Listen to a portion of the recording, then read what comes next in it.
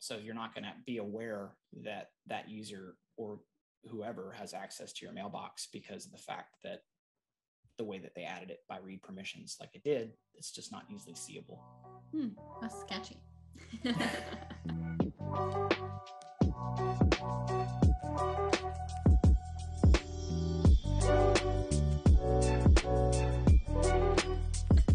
Bobby. So I know that you've had a lot of discussions with your clients in the past about this topic. Mm-hmm. So so share with us your wisdom and your thoughts about this.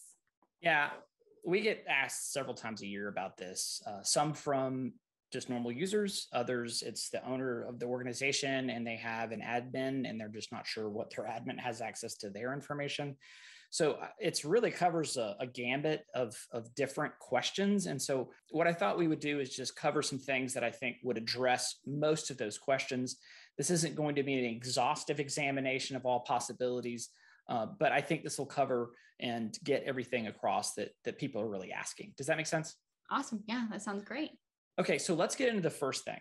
So this first one might seem straightforward, almost per- perhaps silly, but mm-hmm. it's definitely worth discussing. And uh, it, it deals with if someone has access to your password, right? If they can if they can log in with your email address and password, they have access to your email. And what that means is if you put your password underneath your keyboard, if you yell across the room to someone and they know your password, um, they can log in as you.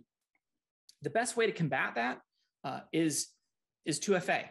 Uh, and you just set up two factor authentication. If you're not familiar with what that is, that's basically you put in your username, your password, and then 365 will then either text you an additional code to your cell phone directly, or it will notify the app on your phone and say, hey, someone's trying to log into your account. Mm-hmm. Once you set that up, even if it's an admin uh, and they know your password, they would have to authenticate through that secondary authentication method uh, to, to get in. So that's where it's kind of helpful that if you work at an organization and they require you to provide the password because we have some clients that that do that but we still recommend them to turn on two-factor authentication. So if someone's going to be logging in as their account um, they'll that user will know about it because of the two after two-factor authentication aspect. Um, does that make sense kaylee? Yeah definitely. I know it has saved me a bunch of times when it even tells you um, more information about who is logging in, even like their um, location, you know, where they're mm-hmm. trying to access it from. So it's very helpful and definitely something that you should always have. Yeah, and this doesn't have to deal specifically with your admin trying to access or someone right. in the organization, but it could be someone outside your organization. So just in general, it's a good practice to have 2FA configured. For sure. So the second thing I'd like to talk about is a little bit more of house cleaning. And what I mean by that, Kaylee, is that organizations, it's very important for them to have a definition of what is allowed and what isn't allowed on their computers, and then what information is allowed to be accessed hmm. inside your organization by your admin team. What I mean by that is if your organization doesn't have a policy that says admins are allowed to do these kinds of things, then there's no real recourse to kind of say what they can and can't do. So it's really important for, I think, any organization to have those things clearly defined. Um, and then on top of that, it also speaks to why it's great to have another organization like a managed service provider like ourselves work with you if with for example if you have an in-house IT person you know that's where the owners and the operators in the organization if they have those policies defined and they notify those managed service providers this is the criteria that needs to make sure is being met as they're in there and working with that client, if they see any deviations from those, they can mention that to management as well as leadership about those kinds of things. So that just kind of creates some good guide rails. And it just kind of speaks to another area of why having an outsourced uh, service provider in these kinds of areas is very helpful. And then lastly, on this house cleaning item, I think it's really important to discuss about that fear that everyone can see everything. Some of the things that we're going to show, it's not going to be very easy for you to know if these things are happening. And it's not meant to be shared to scare you, it's just letting you know what that reality is. And that goes back to my previous statement about having kind of good guide rails that it's really important once you start to understand what can kind of happen, why those guide rails are so important. So let's get into some specific areas of where the information can be monitored and look at, and uh, we can go over those. Okay, so in here, I'm logged in as our demo account. And this first one that I want to talk about is it covers why it's important for you to lock your screen. And what I mean by that is if you hit the Windows key, which looks like a little Windows if you have a Windows based uh, keyboard, and you hit L at the same time, what it will do is automatically lock your screen so that you have to put in a username and password to log in. Well, why is that important? So the reason why that's important is if you leave your desktop unattended, someone could basically right click on your inbox, go to permissions here, and they could add themselves as a mailbox permission user to be able to see that content that you have. Um, that's a little nefarious. Uh, I'm not suggesting there are people running around your organization doing that, but it's definitely worth discussing why it's important to lock your screen when you get from get up from your desk. It's just it's just a good practice. I do that and I work in a home office. I lock my screen. And the reason why I do that is it's not great when the cat walks across the keyboard while I'm in the middle of writing a document. That's exactly right. Chunks of paragraphs, right? So there's just lots of reasons why it's a great idea to lock your screen. Um, this is another reason why is if someone were to add their permissions to your shared without your knowing, probably, unless you look out on a periodic basis, you're not going to know that they can literally look at your inbox. Right. Um, and that's kind of how that works. So let me kind of show you an example of what that would look like. So here's my webmail, and just to kind of show you how easy it is. Once I've been given permission to this mailbox folder, all I have to do is come under here and hit open another mailbox. And when I click on that, it's going to come up with what mailbox you want to open. You can type in the address of the user that you're trying to access. And at that point, that's going to bring you pretty much right back to here. So you'll be able to see this information and, and look at the content of the mail in the folder. Um, so the best way for you to be able to see if that's going on is just right click on your inbox, and you go to permission. And this pretty much looks identical if you're using the full-fledged Outlook version. You That's exactly what I was going to ask. Yeah. Mm-hmm. So you basically just right click on it and you go properties, and, and, this is pretty much the exact dialog box that you'll get back. Mm-hmm. So this second one is pretty straightforward, no pun intended, but it's basically setting up a forward where all messages that are coming to that inbox are forwarded. Now this can be seen by the user, and we'll kind of show that right now. Awesome. So as you can see here, this is this is all happening um, as an admin user. So I'm logged into our, our admin uh, 365 container. So as an admin user, I can go under that respective user. In this case, it's our demo, our Axiom demo account. Uh, then under here, I can go to mail. Under manage email forwards, I can click on this. And then as you see here, I went ahead and set it up under the demo account where it's forwarding mail to me. Mm -hmm. That's very easy to do. And then you can tell it to keep a copy still. So if this is configured this way, what would happen is the user would just get the mail like they normally do, but all messages that were coming inbound uh, are going to go to this specific user. In this case, it's going to me. Honestly, kind of confused about the difference between getting your emails forwarded to somebody else versus giving them permission to your mailbox. So can you kind of explain that difference here? Okay. Yeah. So so what this is going to do is mail is going to flow in. In this case, I'm, I'm what I'm doing is is is we're using this Axiom demo account right here, right? Mm-hmm. So as mail falls into this person's inbox, what it's going to do is it's going to take a copy of that and just forward it to another person's mailbox. And the difference between the one that I just showed versus this is all this is going to do is, is show the user's mail coming in um, it's not going to show me sent items. It's not going to show me the folder structure that that user has uh, when you're doing a mail forward. So the previous one literally gives you full access to that whole content of what's in their inbox and, and other things like that. Whereas the forward, all you're seeing is just one direction of communication, mail coming in. You don't see anything as far as a reply or anything along those lines. Um, also, something that is that you notice that we see happen is the reason why we want to create these forward rules that notify the admin as well as the user that's done is if their mail gets compromised this is a very common tactic that uh, threat actors will do is they will create a forward so they can listen to the communication that's happening and you can do it very innocuously. And then what will happen is they'll insert the communication at the right time uh, to try to intercept maybe wire transfers or you know just get company data uh, through those forwards. So mm-hmm it's it's not just internally where you have this challenge. It's it's if there's a breach, these these are things that you want to look at too. Right. And when you set this forward up under the admin section, which is where I'm showing you now, if the user checks under this gear right here, mm-hmm.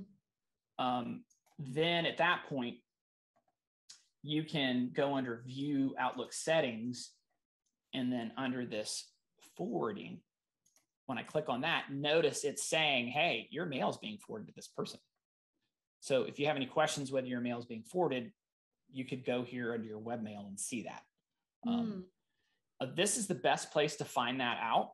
So uh, if you're using the full-fledged Outlook, just log in to your uh, outlook.office.com, put in your email address and password, go to the steps that I showed you, and it will tell you whether your mail is being forwarded or not. Oh, I see. Okay. And, and, and so any admin will have access though to to do that. To do that. Okay. Yep.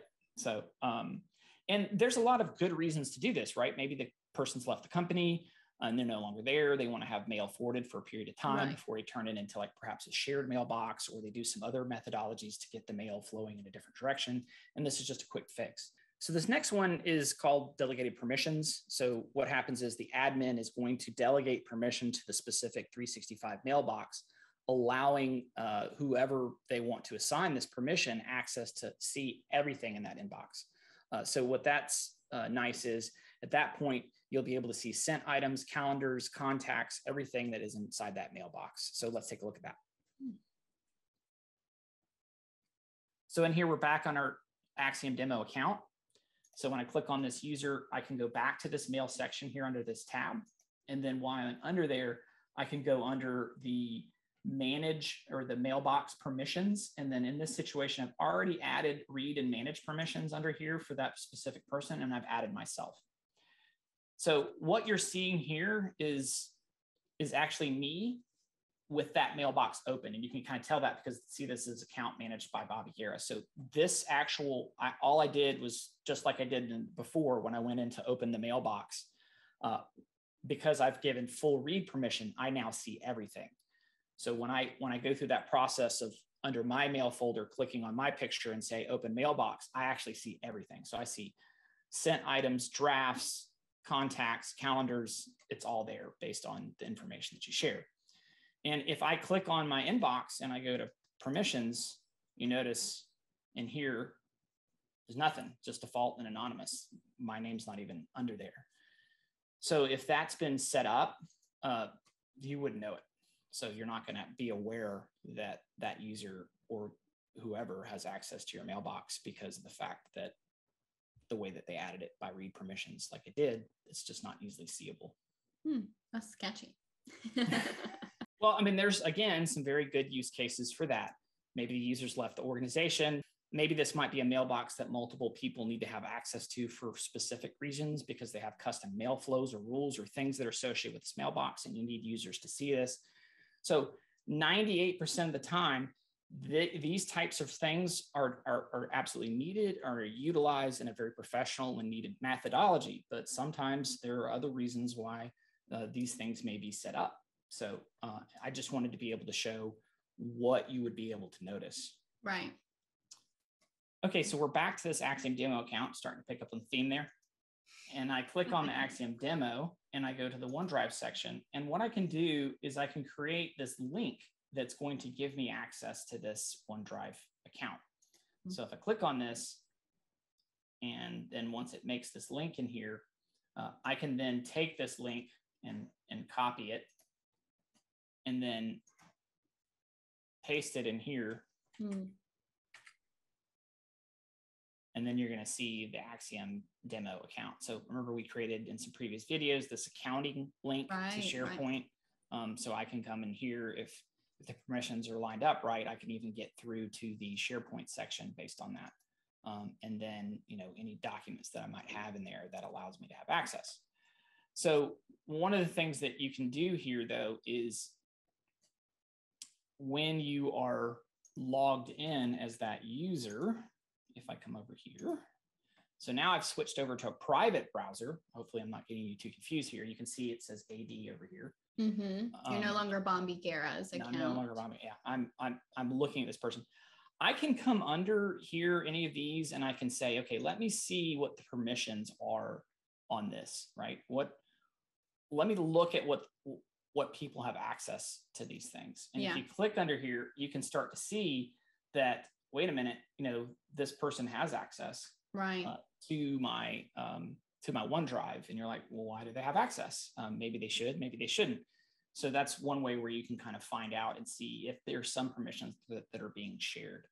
Um, so that's just something to keep keep in mind. Again, kind of going that same vein. 99% of the time that we see these things are happening for a reason, right? The, the person's yeah. left the organization and you need access to that information um, and you haven't gotten around to moving the content maybe maybe that person's been there for several years and there's quite a bit of information in there and they're not sure what they want to save and what they don't so they're just going to try to find some time over the course of a month or so and find out what data they want to save and then just let the rest die yeah well i can i can see for sure how this would be useful in the sense of getting to see somebody who has left the organization see their uh, information in OneDrive or their email without having to move over all the stuff into Correct. something else. It's very, very useful to access that information quickly and efficiently. Um, and I didn't even know that you could do that, honestly. Yeah. Yeah. Well, I definitely believe that we should educate you know our clients and all of you guys who are watching this video you know when you give somebody access or permission to something what you're truly giving them before you mm. give it to them.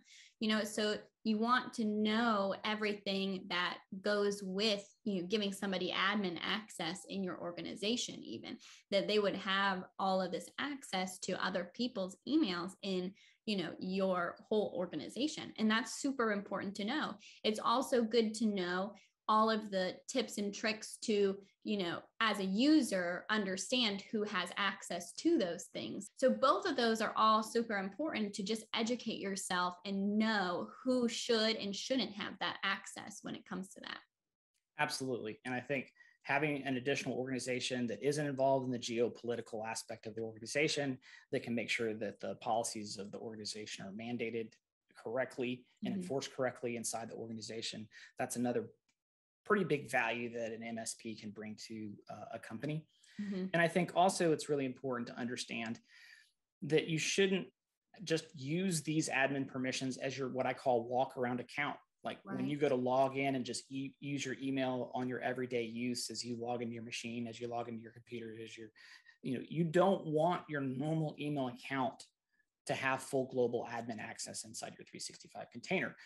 And the reason why that's important is if you get compromised and your email normal email account that you operate under is the one that gets compromised they can do whoever the threat actor is can do all of those things and a lot more right. to your container.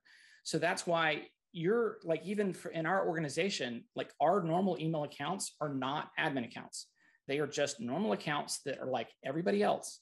Uh, we have special accounts that we have permissions that have the rights to do those kinds of things. And that's just another area where you want to just build some, some parameters and guidelines and securities uh, that aren't very difficult to do.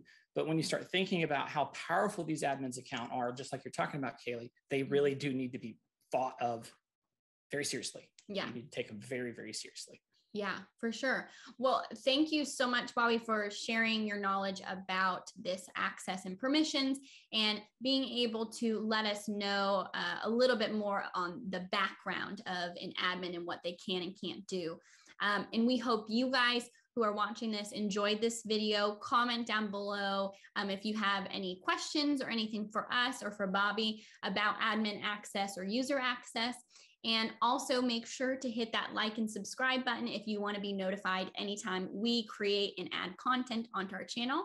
And also, if you would like to be a part of our Discord channel, I will link that down below so you can be notified when we are creating videos or doing any live streams and stuff like that. But we thank you guys so much for tuning in, and we'll see you next time. Bye. Bye.